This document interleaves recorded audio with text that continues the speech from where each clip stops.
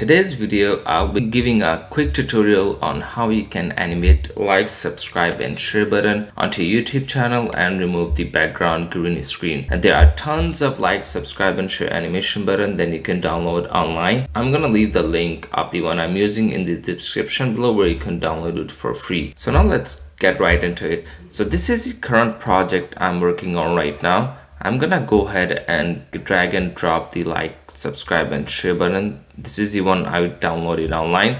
This is how it looks like for now. Subscribe and bell icon right here. So to remove the green screen at the background what you have to do is you have to go to the effects go to the filters and type in 3d curves it's right here. Drag and drop into your screen and so there are multiple steps that you have to follow. Go to effect and make sure this drop down is clicked on open fx overlay. So now go ahead and click that plus pencil and come back to the screen and click the left mouse button and there you go. Green screen is gone. Now you can just quickly put this on top of the project you are working on right here. I'm gonna go ahead and play and see how it looks like so this is the project I'm working on.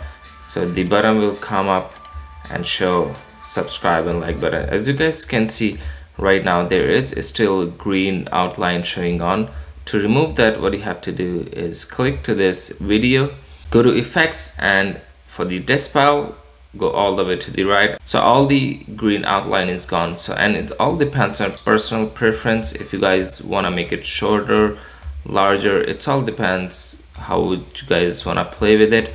And it depends how you guys want to place it right in the right left if you want to zoom it or not. So it's all depend on the personal preference. So that's it for today guys. So it's that simple to animate like subscribe and share button into youtube channel using DaVinci Resolve. Thank you guys